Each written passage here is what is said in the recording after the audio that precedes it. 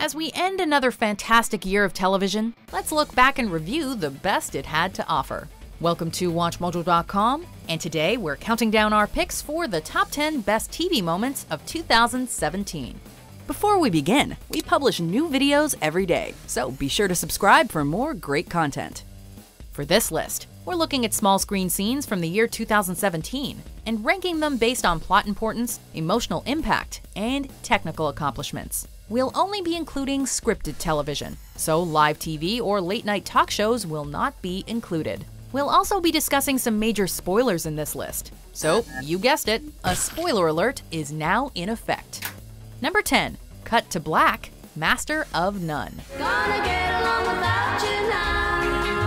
Master of None ended its spectacular second season with a bang, or rather, an ambiguous cut to black.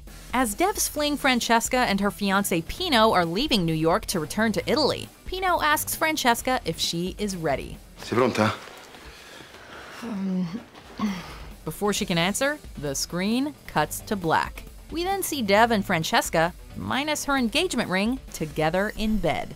It seems to indicate that she dumped Pino, yet the ending remains tantalizingly ambiguous. Is this a dream? A flash forward? If so, are Dev and Francesca happy about the decision? It was both heartwarming and anxiety provoking. Two emotional reactions that Master of None consistently mixes so well. Bye.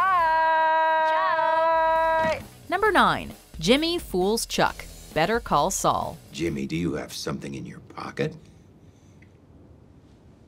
Yes, I do, as a matter of fact. While the first two seasons were great, this season 3 scene proved that Better Call Saul could stand proudly with its predecessor in the upper quality echelons of TV.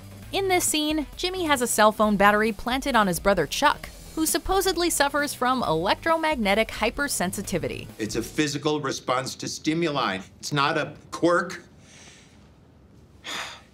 What do I have to do to prove it to you? It's immediately satisfying to watch, mostly because it was nice to see the defeat of Chuck, even though he was absolutely correct in his assessment of Jimmy. But it was also heartbreakingly tragic. that the I am not crazy! I am not crazy. I know he swapped those numbers. This is the death of their relationship, and you can see how much it pains Jimmy. If Michael McKean doesn't win an Emmy this year, we're gonna go cray. And you, you have to stop him. You. Number 8. Janine threatens to jump. The Handmaid's Tale. Janine. Change is coming. The Handmaid's Tale is probably one of the bleakest series ever on television, and that despair is especially prominent in the penultimate episode's bridge scene.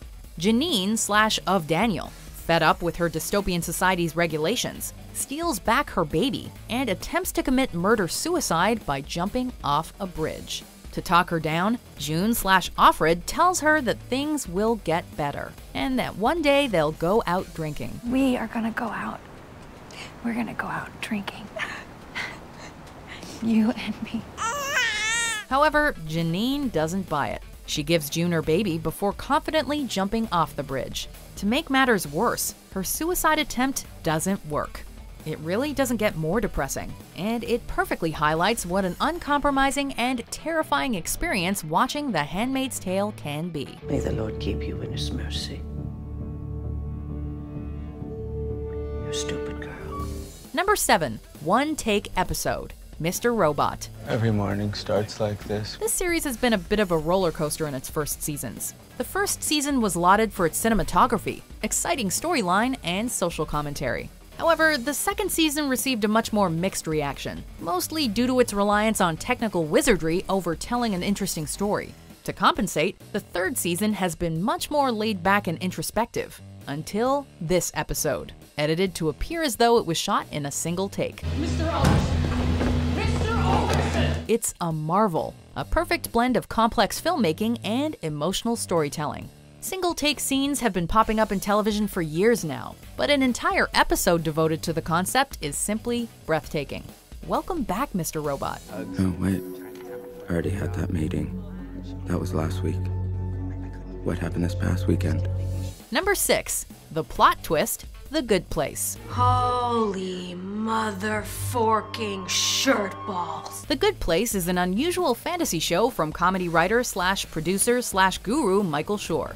Starring Kristen Bell as a mean spirited woman who's accidentally sent to a utopian afterlife filled with righteous and morally sound occupants. Yo, Mikey, Shawn, come on out.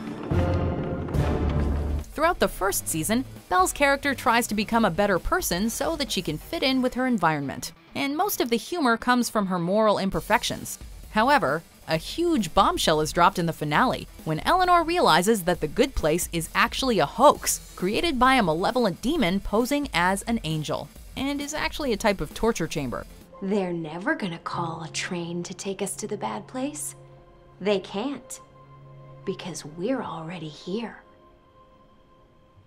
This is the bad place. We weren't really expecting a massive plot twist in our network comedies, and it got us good. Eleanor, you really suck. Number 5. Evil Morty takes over the Citadel. Rick and Morty. We've been running the Citadel since before the Council, and you'll find that we're still running it now. To call this show a cult classic might undersell its appeal.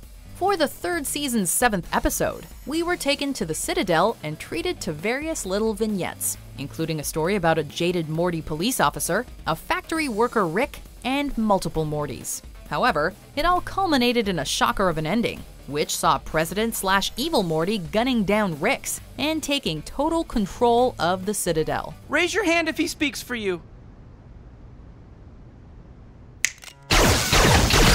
The episode ends with a dramatic reveal of floating corpses, while Blonde Redhead's For the Damaged Coda ominously plays.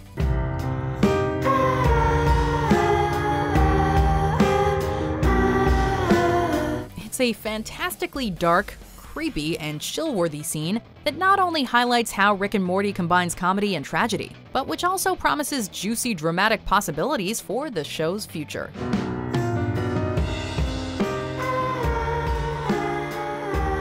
Number 4. The Atom Bomb. Twin Peaks: The Return.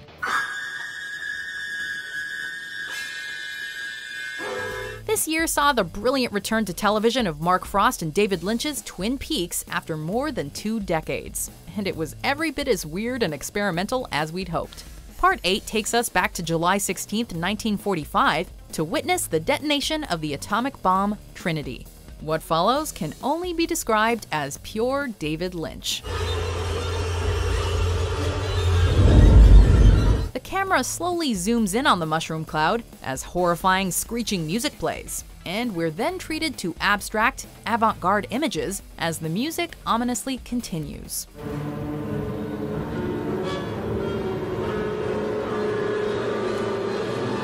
It's truly baffling, but also unlike anything we've ever seen on television. Lynch changed the TV game back in 1990, and he did it again in 2017.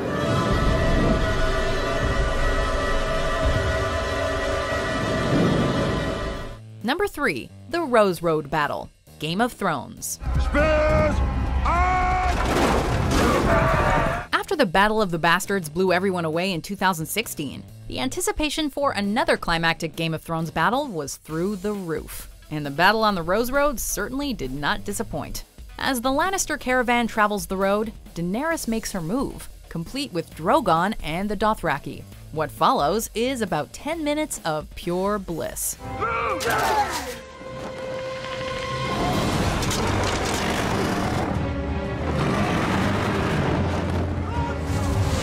Filmed in much the same manner as the Battle of the Bastards, it features some incredible moments, including Bronn shooting down Drogon and Jaime charging Dany. It's arguably one of the most cinematic battle scenes in television history, and it proves that the dividing line between film and television is rapidly deteriorating. Number 2. The Kevin and Nora fight, The Leftovers. Hi. Hi. What happened to your head? The Leftovers concluded its third and final season in 2017, and in the process, we lost perhaps one of the greatest television shows of the modern era. In the season's fourth episode, Kevin and Nora meet back at their hotel after the Melbourne interviewers reject Nora, and Kevin suffers a psychotic breakdown. But I'm gonna find them, I'm gonna find them, and I'm gonna destroy them.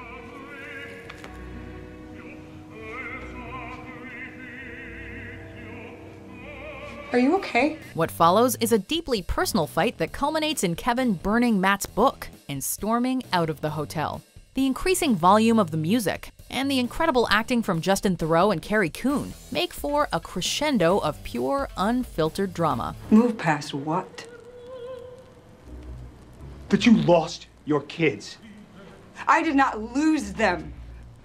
My kids are not dead. They are gone. They are just gone. It really is a shame that The Leftovers never received an Emmy, because this is modern TV at its best.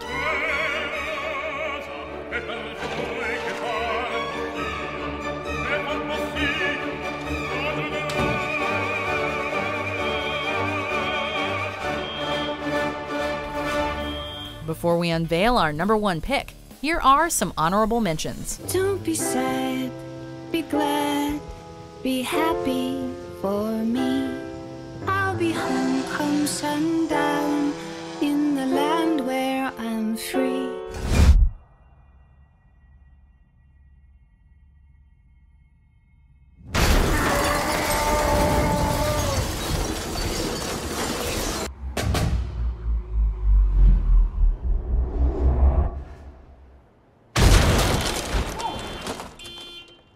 Number one, The Ambush, Stranger Things. I told you they upset him. They shouldn't have done that. Someone give this kid an Emmy already. The highly anticipated second season of Stranger Things was full of fantastic moments, including the tearful reunion of Mike and Eleven. But it was the ending of The Spy that truly captured our attention. In the episode, Will serves as a spy for the Shadow Monster and tricks Dr. Owens to send his team into a deadly trap. This, in turn, unleashes the monsters onto the facility and the town of Hawkins. The acting, music, and cinematography of the scene are truly incredible, and it introduces the enticing concept of Will turning villain, even though nothing really came of it. Yet? When's season 3 coming out? You gotta help me understand. It's too late. Do you agree with our picks? Check out these other great clips from WatchMojo and subscribe for new videos every day.